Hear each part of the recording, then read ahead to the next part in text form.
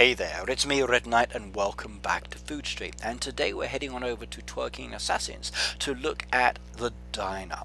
Now this diner effect is coming back into the game pretty pretty soon so you have the opportunity to purchase some of these design pieces creating a garden, creating a road piece, actually stepping it up, getting some interactive decoration both the red bright red and that pale red style design mixing together to create some very very nice areas. Now I like this design. You've got the main diner at the back there, you've got the little bit of a burger joint off to the one side, you've got the garden at the front and a nice little drinking area as well. Now let's look at those. Now first of all this garden area is really beautiful. I like the seats with that palm tree there and the fairy tree in the back so using some decoration within the game. It's also mixing in here as well some of the trees and bushes that we actually use to harvest harvest for making products as well. So a very, very good combination and nicely laid out. With that water effect that actually goes around the whole of the restaurant, it looks really good as well. And if you look to the left and the right hand side, there's kind of got like some bridge style effects there going over the water and then stepped up into the restaurant itself. On the left hand side you've got the drinking and a seated area. On the right hand side you've got more of like you where you buy your food. You've also got the opportunity to see the diner tables and the actual vehicles as well. Now I love this burger joint here. It really does remind me of a place where you can go and get food.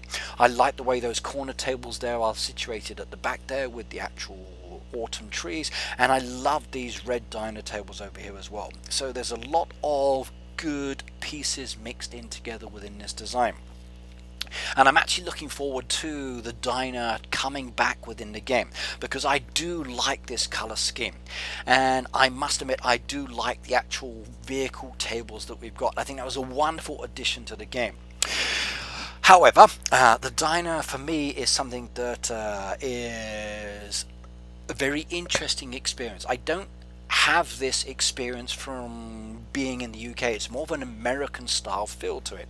So it, it's nice to actually see a different culture here and I'm looking forward to more designs. Right, well overall I think this is a very very beautiful design. It's nicely laid out, it's well put together, you've got your four separate areas there and it does look good and I think you'll like it as well.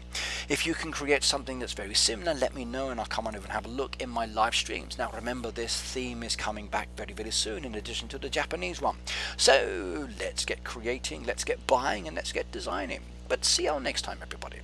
Now if you'd like the video do comment below if you would like to subscribe to my channel make sure you hit that subscription button and the bell notification as well.